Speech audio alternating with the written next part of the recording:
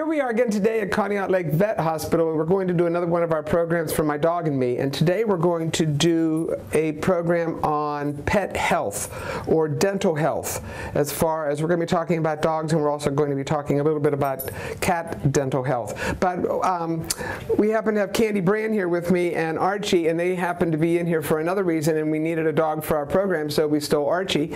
And we will introduce Archie to you. Archie is a therapy dog with our Paws Hand Delivered Therapy Dog program program, and he's fantastic at it. And we're going to see how he responds now to our friend Dr. Consla. And, with me, of course, is Dr. Consla, who always does our programs. And Dr. Consla, you're in charge. Yeah, so um, we'll start and we'll talk about um, kind of uh, dental disease in general, um, what we're looking for when you bring your dog or cat or ferret or whatever animal um, in as far as oral health goes. Um, there's some uh, key signs that we look for um, that tell us, you know what, maybe we should start thinking about um, a dental cleaning, maybe some more dental prophylaxis at home, you know, things to prevent the dental disease from progressing. And that gives us kind of a, a launch point to, to take the next steps, um, whatever it may be. Okay. Uh, so the first thing to do is to look in the mouth. So uh, I will come over here. And while you're talking about that, one of the things we say to people whenever they get a puppy is the importance of always getting the puppy very used to having all types of examinations. And one, of course, is the examination of the mouth by the owner, too. Right. And a lot and, of people don't do that. Yeah, and so that's as easy as just when you have the puppy and um, you know you're training them to sit and to get potty trained. Take time to um, play with the ears, play with the feet, you know, touch the toenails, get them used to that sensation, and then uh, for our purposes today, play with the mouth. And so you, we don't want you to get bit, you know, so if they're trying to chew in that teething phase, mm-hmm. stop. Um, but the goal is that when they come in for their exam, I can lift up the lip like that and look at all the teeth, and it's not um, stressful or scary um, for the patient. And you appreciate that as far as a veterinarian. It, it, it makes, have really done those makes things. my job a little bit easier. Yes, of course. Okay. okay. So let's look at Archie's Can you get that okay, here. Kevin? Okay. So I'm lifting up the lips. And by my thumb uh, would be a tooth. Um, that's the canine tooth in particular. And then the pink uh, tissue above it is the gums. Now Archie has a little pigment on his gums, which is normal in some breeds. Um, so that black coloration there, that's not something bad. Mm -hmm. Sometimes people see that and they get worried that's uh, a normal type of thing. Discoloration on the tooth, however, is another story. Okay. Um, so if you see any discoloration instead of white on the tooth, then that's bad. Um, pink color uh, of the gums and black on the gums. Slide over uh, here. Yes, go ahead. Can be normal. Um, so for little Archie here, his teeth look pretty good. Um, they if, do. If I get way in the back here, get that hair out of the way, you can see there's a very mild brown color on that large and premolar that? tooth there. That's, the That's tartar. Tartar, okay. Um, so the, the progression of things is we have plaque first, and then that hardens over time into tartar. And tartar's the that brown, sometimes grayish stuff on the tooth that is like cemented on there. You pick at it and it just doesn't come off. Is that real common in dogs? It's very common. Is it more common in, in the back? Or in the front, or where it, we normally it see depends. it? Um, so sometimes we'll see dogs that are really good at chewing on like um, bones or rawhides or, or, different toys, and they keep uh, a lot of the tartar and plaque off the back teeth, mm -hmm. but mm-hmm. maybe not so much the front ones. Um, some dogs it seems to be more problem in the front, and then other dogs the entire mouth can be bad or good even sometimes. Um, so what happens is there's bacteria in the mouth, right? Um, we eat food, or the dog eats food, there's sugars in that. Um, the bacteria use that sugar um, to ferment and do their different processes, and that makes um, the plaque. Mm -hmm. Over time, they make what's called a biofilm. And this is basically like, like a castle or a fortress um, of bacteria. So they all get together and, and hold hands and make this uh, these different byproducts and it makes a structure that forms the plaque into tartar. And it makes it so they can live there basically safely because there's nothing the dog can do and there's nothing that we can do real easily at home to get that off once it's there because it's so hard. It'll never come off unless it's taken off professionally? Typically, Basically? there's one product that may or may not help, and we'll talk about that Okay. later. Um, so He's hiding from you. he is. He is. He's camera shy. Camera shy. um, so when the tartar is there, um, it's it's not a good thing, but it's not necessarily bad. So if I see just tartar, I don't get you know too terribly excited. I don't usually uh, recommend going to a cleaning at that point, but that tells us that there's um, uh, that bacterial overload in the mouth and some processes happening that's causing that tartar to form. And we need to start doing some things to prevent that. Otherwise, that dental disease is going to progress to the point where we do need a cleaning. So you look at both sides of the mouth. Yep. Because you, Um, you only looked at the one. I since- only looked at the since one. we have Arch, we better do both for sides the sake just to of check. being thorough, we can Yes. peek over here. and of course, he doesn't care. And that side's pretty much the same story. And then he can smile for us, and we can see the front teeth there as well.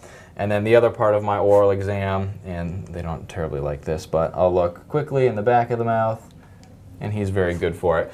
That's not really telling me much about the teeth or the gums, but making sure I'm not missing any like polyps or masses, Mm-hmm. um, diseases of the back of the tongue, back of the mouth, things like that. Just like our own dentist does. right. Whenever they the, start the that tongue stuff. depressors oh, say, yes, and then they put the, oh, yes, I'll add. Now, yes. uh, a unique thing in cats is um, what's called feline stomatitis complex. There's a bunch of other names for it, but basically it's where they have inflammation of the gums and the rest of the, the mouth, the, the pink tissue in the mouth, and but it's kind of in response to a very little amount of tartar. So we typically notice this in younger cats mm-hmm. first and you'll look at and you'll see, wow, there's a lot of gingivitis in this cat, but there's really no tartar. And so for some reason, their immune system's acting inappropriately to the amount of bacteria that's there. It's having like this exaggerated inflammatory response, and so you get a lot of inflammation. So looking in the back of the mouth, you can see that, oh wow, like the back of the mouth is all inflamed. Uh, as well, in addition to just the gums. Now, Archie, since he has beautiful teeth, he doesn't have any gingivitis. But if he did, right at the gum line there, where my thumbnail is, you would see a red line. So it's nice and pink right now. Mm-hmm. But if it's red, that's gingivitis. Okay? Is that common among dogs? It's also, yeah, it's, it's common as well. Um, and when I see gingivitis, that tells me that we need to do a dental cleaning. Because that means that the tartar, the infection, that bacteria and their hardy little castle are starting to get underneath and irritating the gums. And so that means um, that all the uh, the protective structures that keep the tooth stable, all those little ligaments and all the bone in there, is at risk for being affected. Candy, do you, um, does, he, does Archie like bones? He likes, he has a rawhide, Mhm. and I'm giving him another thing too to chew on. hmm The other day, and, and I'm also taking um, little pads and Mhm. wiping. Oh, Yep. you do the teeth. Yeah. Oh, I okay. Yeah. was brushing it, but he, he doesn't like that. Right. So you put like the gauze on the, Yeah. okay, and do And that. the other day when I did it, this tooth, the canine here, hmm a big chunk came off Yep. up at the top. and that'll happen while you're just doing it with the gauze and if you do it faithfully right. all so the time. like i- if that um, if that tartar hasn't been there for a real long time and it's not you like you know getting under the gum and not really attached, starting some at-home care, oftentimes you can get it to flake off. How many times do you do that? As Once- often as I Not as often. I don't know. I don't do it. They uh, tell me all the time to do it, and I say I'm not doing that. I do lots of things, but that's not one of them. Okay, anything else with Archie? So we can go on to the rest of the things we want to discuss. Yeah. Okay, Archie, you've been a star. Thank you very much, and we'll catch you again. Thank you. Thank okay. you.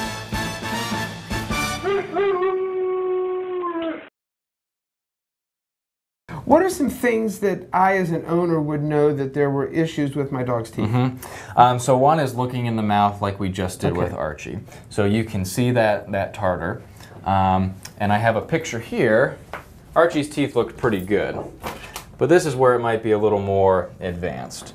Um, so you lift up the lip, and you know how he just had a, a very mild kind of brownish Oh, color right, on his right. teeth. See how thick that is on Do you see a lot dog? of that? Yes. Do you really? Oh, Mhm. wow. Um, and I mean that's you know fairly normal um, if no home care is being done for that to happen.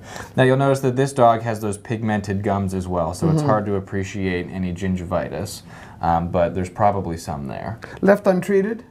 It will um, progress to gingivitis, inflammation of the gums, and then it will progress to loss. periodontal disease. Okay. So the periodontal structures are all the things that are around the root of the tooth. Mm-hmm. Okay? So if we look at this model that I have here, this is the portion of the tooth that we can see. Okay? And then this is clear, so look how long that root is. That's pretty impressive. I never realized that. Yeah, and we'll talk about some different extraction techniques in a little bit, but in this socket, you know, I can, this tooth comes out of this model, but basically two thirds of the tooth is above the gum line, okay? And that is um, cemented in the bone. Th- this clear uh, portion of the model is basically the maxilla, the, the upper jaw, okay. the, the facial bone. Um, and in between the tooth and that socket um, are the periodontal structures. And there's little ligaments that basically hold this tooth in place so that it doesn't come out um, and cement it to the bone. Okay, so once we get past tartar here and at the gum line, that infection spreads up the tooth root, destroying those periodontal structures. Now, that's bad for the tooth because now there's nothing holding the tooth in and it can fall out. Um, it's painful because this is all inflammatory. Um, remember, we've talked about like with arthritis before and some different things. Sure. One of the uh, signs associated with inflammation is pain. So if there's any inflammation, it's painful. It may not be excruciating, but it's probably uncomfortable to some degree. So even if there's just a thin pink line of, or a red line of gingivitis, it probably doesn't feel terribly great. Um, now imagine that inflammation all up in here up in these very fine structures that aren't normally exposed to bacteria and things like that. So that's not good. More painful. You'll start to get uh, tooth instability. So this will wiggle. You know, remember you know, like how uncomfortable it is to have like a loose tooth as a child. Um, but now it's like infected and inflammatory. Um, and then because all of this is, is covered in bone, we can actually get bone infection. So like osteomyelitis um, and things of that nature. Um, a common consequence that we'll see is a tooth root abscess. And so we often think of abscesses associated with like a, a skin puncture wound or a cat bite or something like that. An abscess can happen anywhere where bacteria gets walled off. So if that bacteria travels up here and gets walled off in this little pocket, it can form an abscess. Typically we see it back on this big premolar here because there's multiple roots to it. And the presenting complaint is, um, you know, the dog is lethargic, they have a swelling like under the eye, and that's usually all, all pus. Um, so that's kind of the, the progression of, of dental disease there. So um, that's why we say whenever we, we start to notice gingivitis, um, we should think about getting the teeth cleaned. Okay, what about something else? Now that's if I'm actually want to look at my dog's mouth. Mm-hmm. What are some other signs that I might see? You said lethargic or a little bit of swelling. Yeah, so that, that's kind of like one. that's like worst case scenario. Okay, what about More- bad breath? Yeah, more common would be bad breath. So remember, all that tartar and plaque is Yeah. bacteria based, right? Um, so bacteria are uh, fermenting, and that makes the bad odor. Uh, so it's just like if if you don't take a bath, you start to stink, right? That's because those bacteria are growing and becoming overpopulated and making all these byproducts, which smell. What about the food that they eat? Will that cause some of the smell? Um, that is up for debate now. So we used Yeah. to say that you know, oh, like if you feed dry food, the dog's going or cat or whatever is going to be a lot better off than if you feed canned food. Um, there's some studies that ha- have come out over the past several years that suggest maybe it's not so much the food, but um, some genetic factors of the dog. Um, some dogs are just going to be predisposed to have dental disease regardless of what we do. Um, sometimes feeding different foods will help. We'll talk about some of those later. But some Um, dogs but- can be predisposed to dental difficulties. Right, Diff- and so we tend to think of like the small breed dogs. So you take like a, a normal, you know, dog-shaped head, and then you squish it into like a pug head or a Chihuahua head. You know, You're talking about my Shih Tzu, exactly. and and mine has a double row of teeth down here. mm-hmm.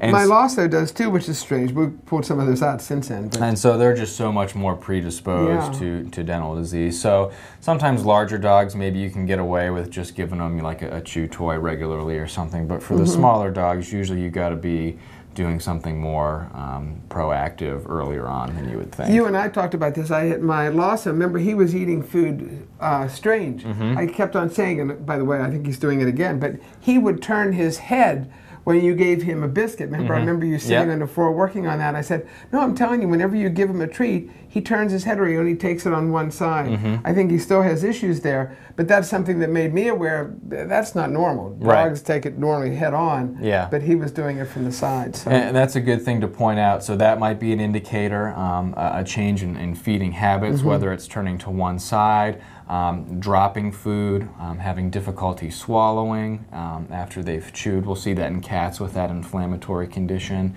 um, gagging. Um, some dogs and cats, interestingly, chew on one side more than the More than other. the other. Um, so sometimes, you know, I'll be looking and maybe the left side has a ton of tartar and the right side is almost spotless. Wow. I never realized that. And That- so, yeah. you know, they're crunching more, chewing more on the one side, which is just having some mechanical action of keeping that plaque and, and tartar off um, versus the other side. So I come to you and I say my dog has an issue, or I smell the breath of my dog, Mm-hmm. or there's something else, and you've done the dental exam, and now you say what to me? Um, So yeah, so if there's um, if there's gingivitis, then we recommend a dental cleaning. Um, so let's talk about that next, and then we'll talk about if there's not gingivitis, what we need to do, um, or what we do after the dental as well. okay. Um, so, uh, if there's gingivitis or more advanced disease like the periodontal disease or whatever it may be, a fractured tooth, um, things like that, um, we go for the dental cleaning. So that starts um, with a, a scaler. Um, But wait a minute, you're gonna is my dog put to sleep for this? it, it's a- under anesthesia. okay, and is um, there a certain age, like my dog is 12, should I be concerned about it with him? Well, we would recommend, uh, you know, during the exam, we're listening to the heart and lungs, feeling the pulses, um, recommending blood work before anesthesia, but age in itself isn't a reason to be concerned about anesthesia. Okay. Now, if we do the blood work and the kidney values are sky high, or we hear a heart murmur, then that, you know, changes things. That doesn't mean we can't do it. Um, if it's really needed, but we might have to pick some different medications, um, consider an x ray beforehand. Um, so that's why all those um, kind of extra things that we might talk about if one of those problems pops up are, are helpful because it makes us make the anesthetic procedure safer for the patient. Okay, so you're gonna put my dog to sleep for this. Mm-hmm. So we, we put in a catheter, we put them under anesthesia. Um, they have IV fluids the entire time to keep blood pressure and everything normal. Um, they get an antibiotic injection um, because when we're going in and cracking off all of that tartar, remember it's a it's a bacterial fortress, and so all of that bacteria is getting into the gums, which is basically blood vessels and connective tissue. So you get bacteria in the blood. This happens every time we brush our teeth too, just to a, a smaller extent. So we want to make sure that um, we're dealing with that bacteria that's getting into the bloodstream Okay. as well. Um, now, when I was out in California, there was a, a big controversy about doing dentals without anesthesia. Um, and the, the controversy is that um, there's really Did you no way. hypnotize them? How no, would you do well, that? they would just stand there and you'd go through and, and scale off the tartar. really? The, And the- lose your fingers in the process. the controversy and the reason why the American Veterinary Medical Association doesn't support that type of procedure is because you can't really thoroughly get under the gum line where the, the extra tartar is causing Or that the back of them, gingivitis. too. Yeah, or hard I mean, yeah. it, it's it's hard. It looks easy on this model, but you have to remember, like on Archie, I could pull the, the lips back to about there. Right. So what about all? Look at there's uh, two teeth uh, back behind that big Sure. one, and they're they're hard to get to. See how they come into the middle of the mouth there? I didn't realize that. And so they're, they're hard to get to. So doing that in an awake dog is just very impractical. You can't do a thorough job at getting under the gum line either with, So we're putting with them that scaler. So that's why we put them under. The other reason is um, for those awake dentals, they still give them some sort of pre-medication. Mm-hmm. Um, but what happens when you get in there and you find a tooth that's loose and painful? Well, if somebody, if I'm at the dentist and they poke a sore spot, I'm gonna be. You better give me something. When no, I'm, they, I'm not sitting when in they this pick, chair. that's about all I need Yeah. is when they start picking at them. Um, right. Or maybe nothing painful happens, but you notice, oh look, um, there's something we didn't expect. That tooth has to come out. Now the animal has to go under anesthesia anyway, um, and you're like halfway through a procedure, and so it, it's less streamlined um, than if they're already under. and So you kind of anticipate concise. that you could maybe have an issue with some dogs, and then you hopefully have given them enough so that you can get this done, or if you have to do something else like a pooling. Yeah. Okay. So it's just not it's not practical. It's not safe for um, or, or good for the dog or the person. Okay. So when they're under anesthesia, they're not licking, they're not moving. Uh, we can go through very quickly and precisely and just get everything done that, that needs to get done. Okay, so we put the dog out. The dog's on the table. It's a special table, isn't it? Uh, yeah, so it's it's similar to our exam table, but the top comes off and it has a, a grate there um, because we use a lot of water during the procedure to keep rinsing things off. Um, and then it has a special dental unit um, attached to Oh, it. okay. And so the first part of that is the scaler. Um, I don't have that part with me, but it kind of looks similar to that. It's angled, um, and it's an ultrasonic scaler, so it has like little sound waves that come out, and we run it along the tooth, and those fine sound waves crack that tartar and make it come off. Right away. Does it take a lot to do that? Generally, it's pretty quickly. Really? Now, Okay. because it, it, it's it's ultrasound, little sound waves, you don't just want to set it on the tooth because that could crack the tooth. Um, so we go, you know, back and forth, and then remember we want to make sure we get up under the gum line there Okay. um, to get that infection that is under there. So Um, that's first. so that's first. We do the whole mouth. So there's there's four rows of teeth basically. Um, one, two, three, four.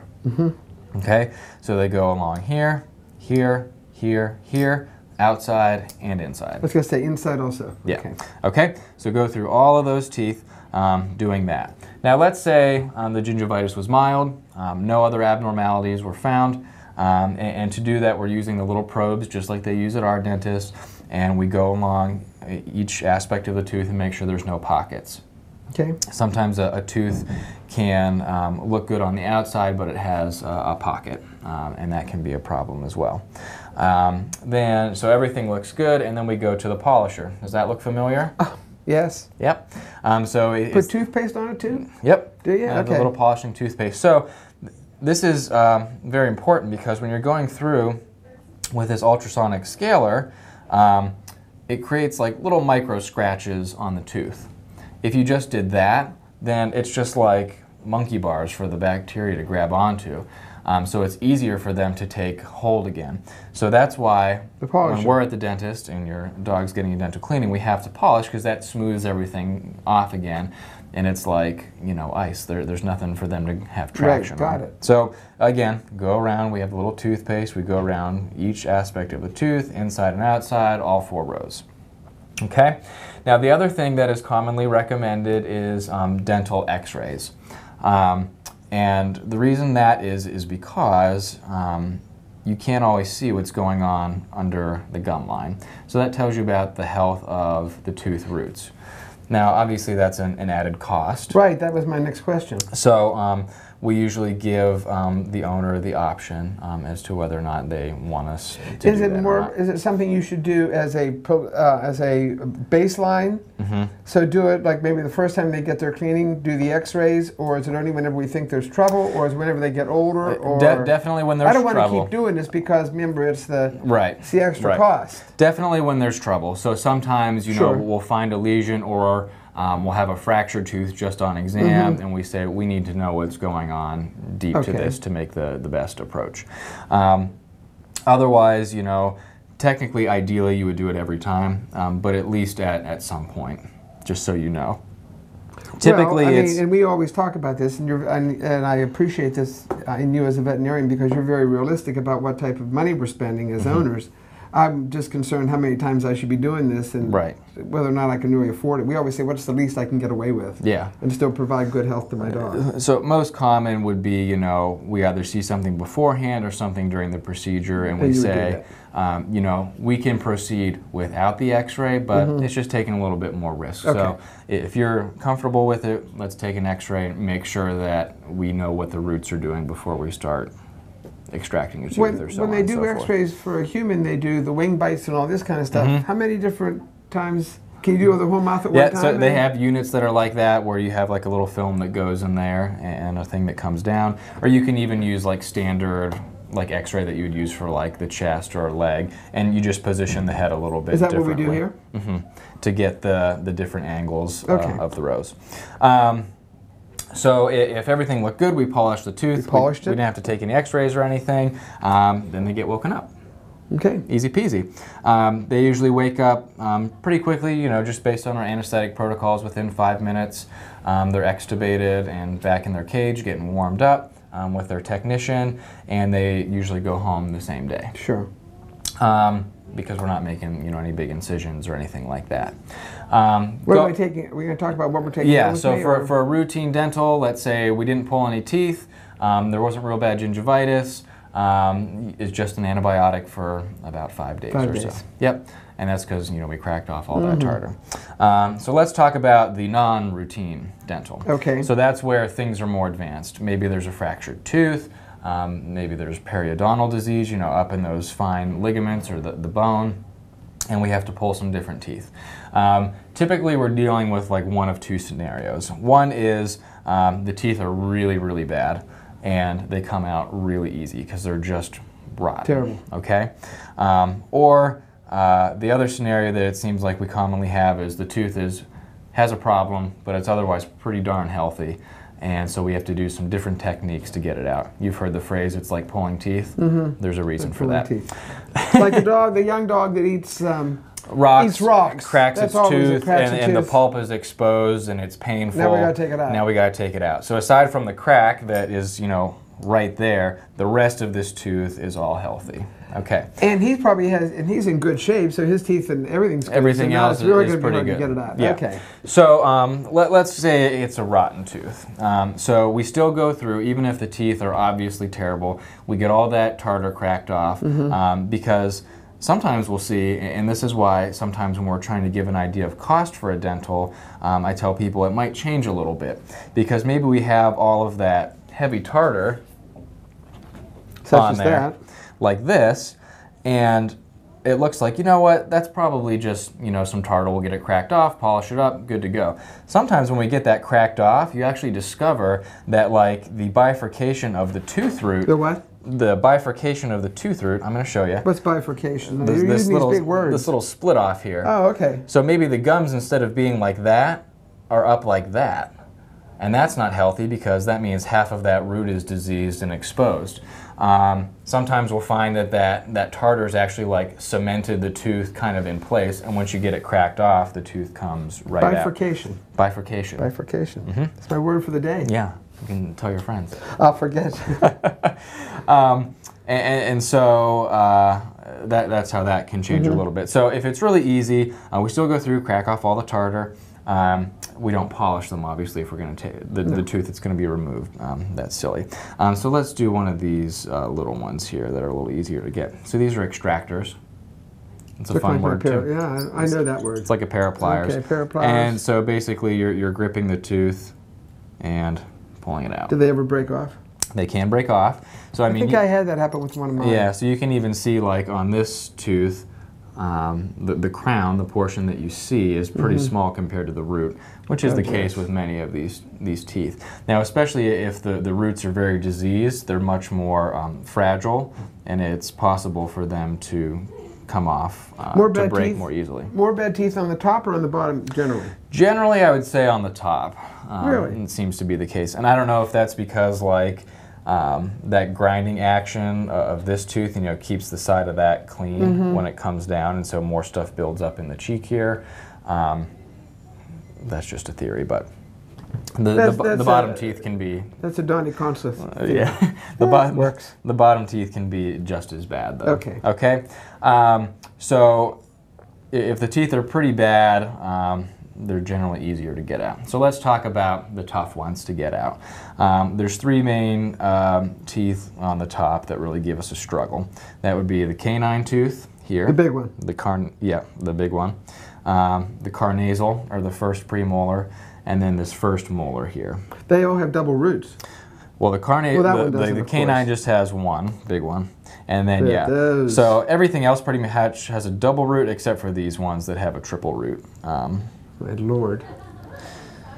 so you can see there's three roots there, and then our little friend behind So the first it. choice, the hardest one is the, the this one here. They, they can all be a big pain in the butt. So The ones with the triple roots. yeah, we'll, we'll go through and talk about what we can do to get those out. Um, so let's start with these two because they're kind of similar. So this is the first molar and uh, the first premolar. Um, they both have three roots. And so um, what we can do is section these teeth, which is a fancy way of saying cutting them in half uh, before we To try and 'em take out. them out. So what we'll do is um, we'll go through, get all the tartar off, and then whenever we're extracting a tooth, we use these uh, instruments called elevators. You can see they're kind of like uh, spoon-shaped, concave on the front, and they're, they're kind of sharp, um, and then they're uh, smooth on the bottom. And this acts to get those periodontal tissues that are cementing the tooth in place uh, to get them loose, um, because that's what's holding the tooth root in. So, when you go through, you're like, all right, I got to extract this tooth. It's not totally rotten, so we just can't pull it out. Uh, we go through with these, and you insert it under the gum line, like that, and you basically put slow pressure on it. Because remember, there's ligaments in there, and ligaments are, are very tough, and you can't just tug on them and expect them to break. It takes a, a decent amount of force. So what we're doing by inserting like that and twisting is we're stretching out those ligaments. We're fatiguing them is another word that you'll hear. So basically, they get to a point where they're fatigued, um, they can't hold on any longer, and that allows you to take the tooth out. Now, that sounds really easy, right? You just go around. I have a feeling it's not easy. It is not easy because they're strong. So, and you have to do it around every aspect of the tooth. So, on the front part here, it's very easy to get access to. You know, the lip is pulled back to about Sure. there. This is no problem. The front one's not bad. But what about back here? You know, that's an odd angle. And remember, this other tooth is right beside it. is sitting right beside it there. Uh, so that gets a little tougher. And then the inside, you know, you have to get around all aspects of it to get around all the roots of this tooth. Wow. Who does this? So the um, the technicians with veterinary supervision will do um, the cleaning, The cleaning. and the polishing. Polishing. And then for big extractions like It's this, it's us. Yeah. Um, so um, for a more straightforward tooth, like maybe one of these little ones, we're going around weakening everything, and you can pull it out um, with, with less effort. For these big ones um, with the multiple roots, uh, we'll do that same process. And remember our bifurcation. Yes. Mhm. So I'll have that, uh, get it worked down to basically so I can see that bifurcation because that gives me a landmark, right? Um, and that bifurcation is right in between basically half of the tooth. Can you see that? Mm-hmm. So then I'll take uh, a Dremel-like tool and I will actually cut down the middle of that tooth And split it so it's easier and to get split it. So now look, the big super strong root, it's all by itself. And that's the one that's So close to the one behind. so close to the one behind it. So now getting in between those two easier. big teeth is a lot easier. So we can take that out. And then the front one, the front two, kind of just looks like one of those easier ones Mm-hmm. to get out now, right? So um, that's one way that we can make that a lot quicker. You can get it out um, without sectioning it, but it takes a lot longer. And one of the, the, the big rules of anesthesia is to minimize um, The time that time that they're under anesthesia. So it, it's good medicine to section that tooth and get it out as quickly as possible. We're taking the tooth out anyway, so it's not like cutting it in half i- is painful or anything Right. like that. Part of the pre-meds is pain medication, um, so they don't feel it. And then we can also do local blocks, um, like we do when we go to the dentist, of um, lidocaine, bupivacaine, lo- local acting, acting anesthetics to, to numb that area as we pull it as well. Okay. Mhm. So it's just another means of, of pain control. Um, the one that sits behind it, that kind of goes into the middle, is kind of the same story. Um, so I'm just cutting it on this axis, Right. however. And then again, I'm left with those little two friends by themselves and this one by And big- itself. okay. Yep. Um, so that makes that one a little easier. I wonder what you're going to do with this one. And that one. So that, Many, do many dogs lose this one? Um, if the if the disease is very advanced, um, yes. And then the other reason we see it need to be pulled is that it gets broken. They, I know the stone, the stone eater. Um, so it'll get you know cracked right across there, and it's very painful. And anytime there's a fractured tooth, remember the pulp of the tooth is blood vessels, so it's just a great spot for bacteria to get it. And there's lots of bacteria in here. So this tooth can be a little more complicated. If it's really diseased, you can still use the same technique uh, of going under the gum and working all the way around. Look how far up in there that is. Oh, wow. Isn't that amazing? It makes me nervous. Yeah. Because I'm thinking what it'd be like if you were do- a dentist were doing it to me. I yeah. like it. Well, fortunately for you, our, our tooth roots aren't quite that long. Yes. oh God. And you can go around. Unless you have fangs or something. Yeah, yeah. Or you're a vampire. Yeah, right. And they would be And long. There's probably other problems i- if that's going on.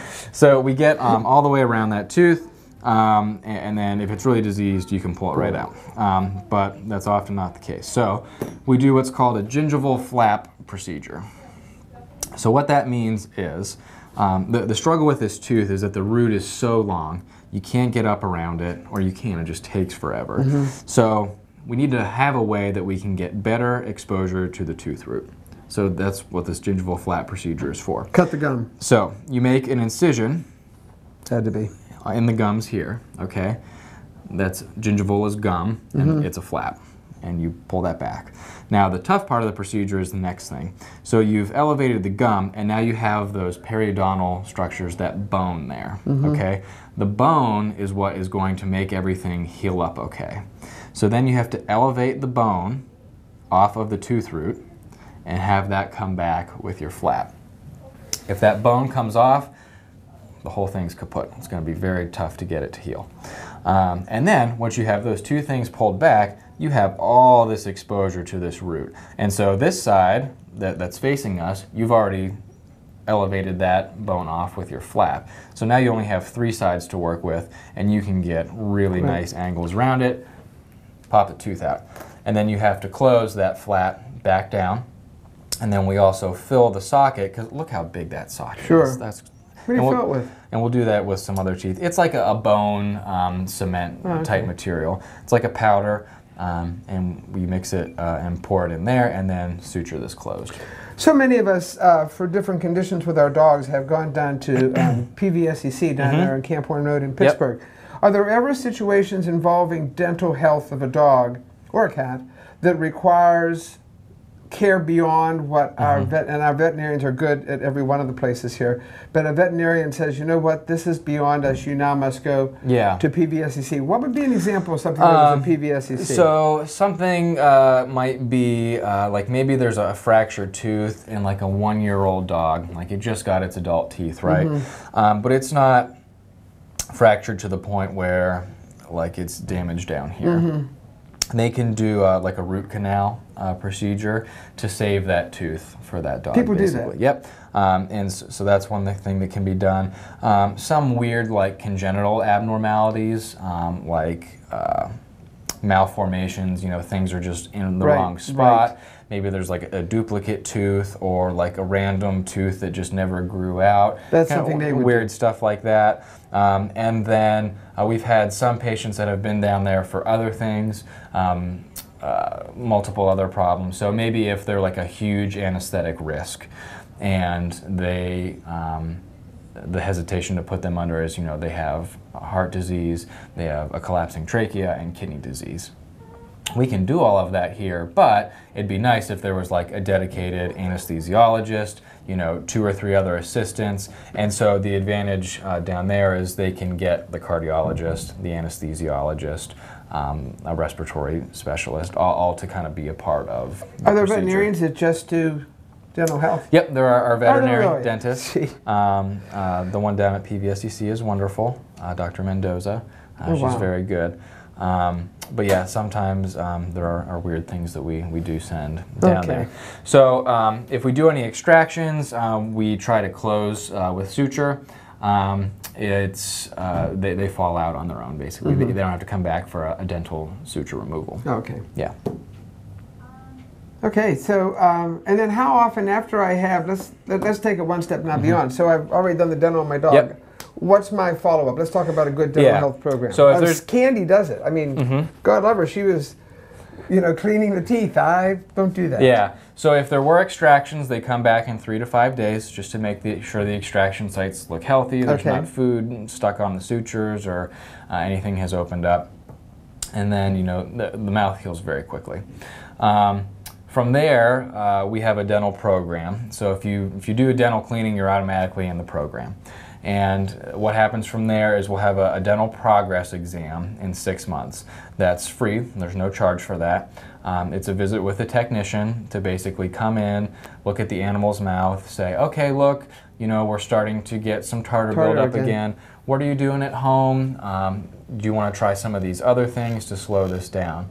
Um, the only thing you have to do um, to stay in the program is follow our recommendations. Right. So if we say, look, there's gingivitis, she needs another dental within the next like month or two to stay in the program, you got to schedule that dental cleaning. And I would imagine that the majority of veterinarian clinics in our Crawford County and around our area have something like that. Uh, yeah, they Everybody's got to have it. Right. Because it's so important. And- so and sure that, check with your veterinarian, your Yeah. local veterinarian, or whoever you go to, and see what they do. Mhm. So we do uh, some specials for February Pet Dental Month, um, but the dental member program uh, benefits are better than that, and you can use them any time of the year. So if it's August and your dog needs a dental, it still gets a better discount than the February. Oh, special. okay, well. so that's kind of like another. It's February. I better get my one big boy down here and have his teeth looked at. Um, I think the breath is smelling. Yeah. So uh, that that's kind of like the immediate follow up. Mm-hmm. Um, then long term uh, follow up. Uh, so if your dog or cat uh, had a dental, um, obviously they they're prone to dental disease. We need to do something to prevent that. Or if you came in for the exam or the dental progress exam, um, and we said, hey, there's some tartar, some plaque here, but no gingivitis. Um, but let's start doing some stuff at home, some preventative care. And that's where all of this stuff Okay, let's see what um, our choices comes into place. So there's there's varying degrees uh, of options as far as how involved you have to get, how much you have to be in the animal's mouth, um, and how effective they are essentially. So um, that's important because not everybody is capable of doing certain Absolutely. things, and Or not, do not all animals will Let you do let it. you do it. And yeah, some people just don't want to have to, to do it. Right. Um, so let's start with um, brushing. Brushing is probably the most effective um, and cost-effective thing that you can do. Um, this is a special dog toothpaste. Do not use human toothpaste. Really? Yeah, um, because they swallow it. They don't spit it out. Oh. Um, this is an enzymatic toothpaste. So remember, the plaque is getting turned into tartar. Right. Um, so this enzyme helps prevent that from happening. Okay, this so one is, is chicken flavored. They make, uh, I think, like beef flavored, a vanilla mint. If you're not into And the that includes the toothpaste and the brush. This is the toothpaste, and then for the toothbrush, um, they make dog toothbrushes. I use when I go to the dentist and they give me my new one. I ship my old one to the Oh, dog. okay, so you can use a, a human toothbrush. Yep, Okay, got it. Soft bristled, um, and then uh, get it for the size. So if it's a 90 pound German Shepherd, a regular adult toothbrush is going to be fine. If it's a three pound Chihuahua, Get the kitty one. get the little baby All toothbrush. right. Um, so ideally, people always say, how often do I have to do that? Well, ideally every day. How often do you brush your teeth, right? How many people do that? Some do. Do they really? Not a lot, but some do. Um, I, I do it Monday, Wednesday, Friday. Um, and how long does it take? 30 seconds. All right. And we, we did one demonstration in one of our previous episodes. And we did eyes, ears, and mouth, Right. where I brought my little Charlie Oh, dog in right. We- yes, and did. demonstrated how to brush teeth. So you can go back in the catalog to, Yes, to find that. that. Okay. Um, as often as you can do it is the best. Some people do it once a week. Some people do it a few times a week. Some people do it every day. Should you do it after you've had a cleaning? But if you've never done a cleaning, Mm-hmm. does it still have a benefit for you to start doing it? Yes, because a- any of these things. I was hoping things. you would say no.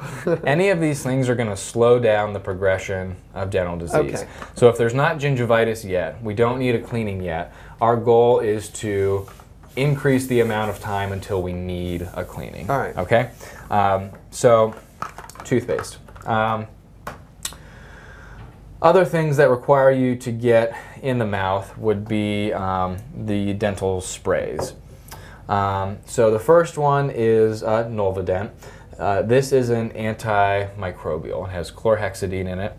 Um, and so remember, bacteria are causing the problem. So if you use an antibacterial wash, basically, um, then you can get rid of some of the bacterial load. Is that the Um, one I use with gauze? Yeah, so this one you put on like a little gauze square and you still have to rub it on the teeth in a brushing motion. I've been chasing around the house. Yeah, They- so you don't have to use a toothbrush, um, but you still have to get in the mouth. Okay, I'm gonna think about this now because I've done the program. I might as well at least think about doing Yeah. it. All right, Um, what's next? This next one is called Leba 3.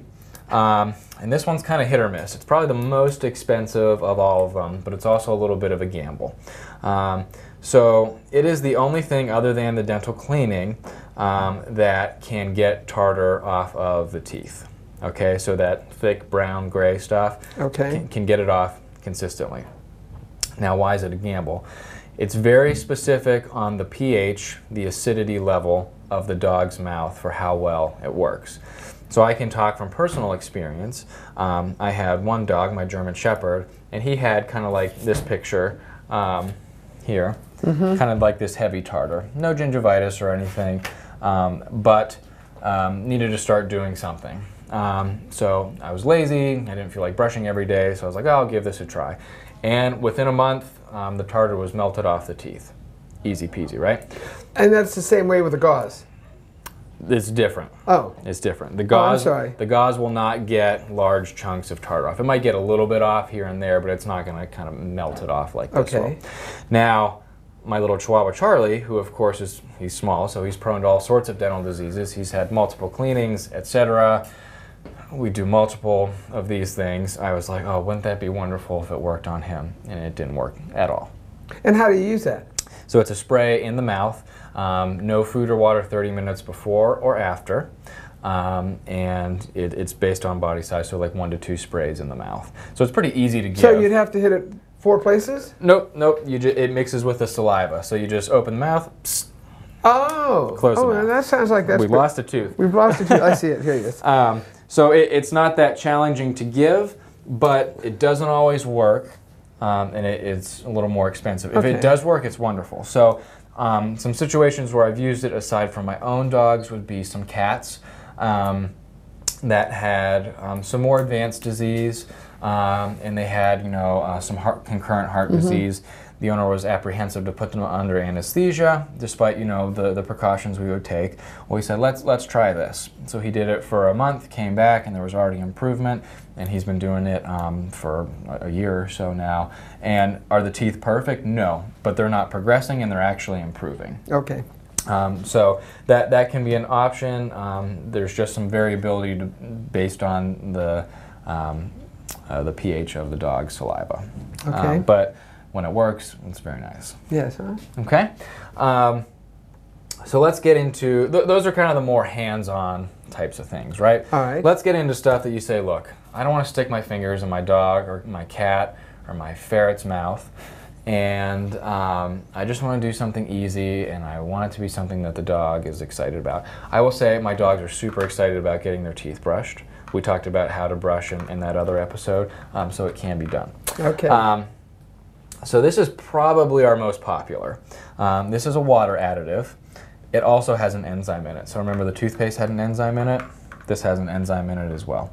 Um, you mix it into their drinking water and all they have to do is drink water, which they do how many times a day, and they get their treatment throughout the day. How often do you? So all, every time you fill the water dish, you put that in. Yep. We talked about that with Dr. Wade. I've got five water dishes at my house. I said this isn't going to work. You'd have to mix up a lot I of it. yeah. So with one dog, that would be a great one where you Yeah. regulate and know the water because Right. I mine were slopping more water on the floor sometimes. Yeah. Okay. So, um, So that why, works, why do people like this? Because Easy. all they have to do is they're filling up the water bowl anyway. You put a pump in, and you're good to go. Um, does it work? We've been using this for about a year and a half, maybe close to two years now. Um, so we're starting to get back a lot of patients that, that started on it um, and, and have been using it for a year, year or like two it. years.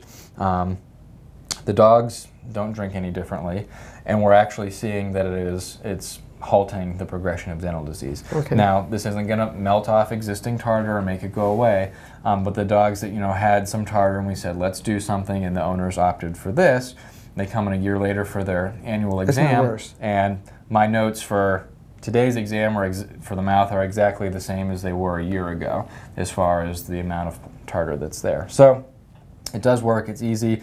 Um, the nice thing about this, it doesn't have any um, artificial sweeteners um, detergents, alcohols, or antibiotics, or anything like that. It's just the enzyme, um, so you're not, you know, using an antibiotic regularly. There's some of the artificial sweeteners are toxic, so that's why that's a concern. So um, it's very safe. And they can well. get all these products at a veterinarian office, or probably if they were. Well, These are the ones that we so. that, that Right. we carry. Um, And probably get something like that online, but somebody else that yeah, doesn't come here. Pretty Okay. much all of these um, are, are up front. Okay. Um, that you could walk in, um, except for the Leba, that's prescription. Um, but like the toothpaste, the water additive, the treats and stuff, those are on our, our counters. Right, and they front. probably are most of the vets. they I'm would sure. have something similar. Similar. Um, so next would be dental treats. So these are the Oravet chews. Okay. Um, there's you know the greenies. I think Milkbone has one out now. Um, you can find all sorts of different things, and they do um, all sorts of different things. This Oravet chew is a little more uh, sciencey as far as how it works. It has a, a molecule in it that makes it so the bacteria can't stick to the tooth. So that's kind of its benefit. And then it's also kind of dense, um, so it makes the dog um, have to chew on it a little bit. So you can feel. This is for uh, a little dog, um, And you'd give them one of these. once a day. Um, and you can feel, you know, they'd, they'd have to They do are. some, some Sure. chewing to get through that. Um, so this is a nice option. When not to use this.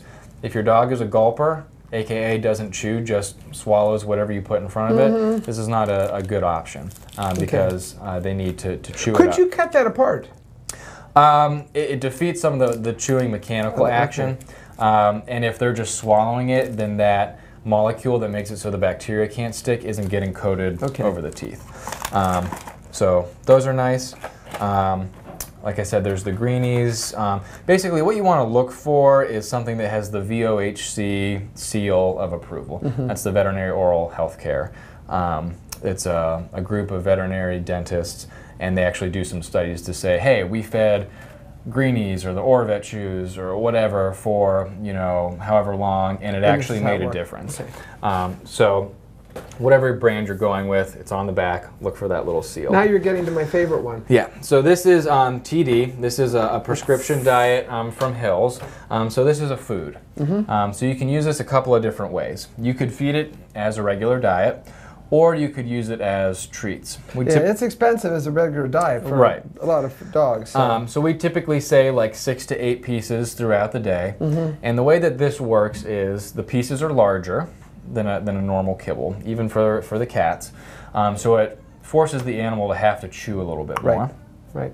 And then the, the treat, the, the way it's designed is a little bit different too. So a normal piece of kibble, as soon as the points of the teeth come together like that, it crumbles apart, right? This doesn't. This doesn't. No. This allows the tooth to sink down into Mm-hmm. the kibble, which allows the food to scrape the sides Right. of the teeth. Um, so it's like a little mini brushing, if you will. Yeah. And then once the tooth gets most of the way through, it falls apart. I use that. I use that as treats every time Mm-hmm. they come in. That's their thing. They know they come in from outside. Yep. Everyone gets one. So mine probably get, I bet, six, seven a day Yeah. or whatever. And I like it. I, I think it, it Mm-hmm. has made a difference with my dogs. A- And it's got a lot of you know studies behind it. It- It's balanced, so it can be Mm-hmm. fed regularly, um, or as the treats. If you're using it as the treats, pull back you know uh, a On few pieces on the regular food. Sure. Remember, they're bigger. So like the, the the large breed dog ones, would you say are about that size? About, I use, the, I got four dogs, of course, too big and too small, but I use just the small ones, Yeah. which works for everybody. So, So if you're giving you know six of the big ones throughout the day, that's like five, six, seven, eight regular pieces Sure. of kibble. So Sure. just adjust a little bit so we don't have any extra weight gain on it.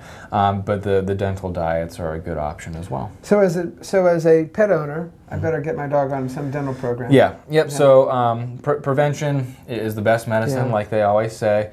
Um, so if we can do any of these things, whatever is convenient for you and for your pet um, is good. Um, many of these can be used in cats as well. I would say people tend to go for the, the less hands-on types of things, sharper teeth. I would and- think, and yes. We don't want to get Um, have that happen. And then, you know, if if you're using this and the, the disease progresses over time, or if they just come in and the disease has already progressed, um, then we go to the, the dental cleaning route. Anything else? Last, what's three things we better remember from today? Um, prevention. Prevention. Uh, check your uh, dog or cat's mouth regularly, um, especially if you see gingivitis, let us know. And if there is an abnormality that's identified, um, try to take action as quickly as possible because once that inflammation is there in the gum line, we know that the more important structures are, are starting to be affected. The sooner we can intervene, the better chance we have at saving teeth. and then follow up with a good dental With a good preventative after. Yep. Okay, thanks very much. You gave us a lot of information. Archie was good. He did a good job. Yeah, absolutely. Um, February's Pet Dental Month, um, so Yes. we'll be having specials running that whole month. Um, so you can call our office and, and find out more about those. I guess I better do that. I think I will. Are you a program member? Oh, I'm sure I am. Well, then you can do it any time of year. I know, and I know we just had one of them. That, you know why I say that? My my little uh, Shih Tzu um, was seen by Dr. Wade recently, and and even my black dog was uh, my older one, and she even said that their teeth were in pretty good shape. So the the TD's got to be doing something. That's helping. But I'm getting that odor that's coming from Yeah. my collie, so I think it's time we check things out with him. Okay, thanks very much. You're welcome. Uh, if you have any ideas about any programs you'd like to see us do, make sure you contact Conneaut Lake Bark Park or you contact Armstrong Cable. Give them the ideas and we'll see what we can do to help you out. Thank you.